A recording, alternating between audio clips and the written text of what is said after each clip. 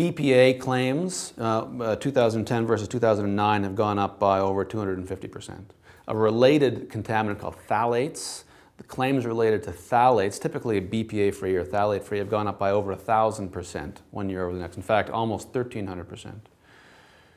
That's actually, I mean, I would say that's a good thing because it's the marketplace responding to this concern amongst parents in this case, particularly parents, because these claims are almost all on, on either toys or baby products and most on baby products.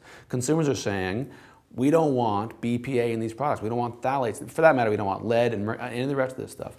Companies are trying to respond and are saying proudly BPA free. The only problem we're finding is that there's no evidence behind the vast majority. In fact, we didn't find a single toy or baby product that was, that was sin-free in our language.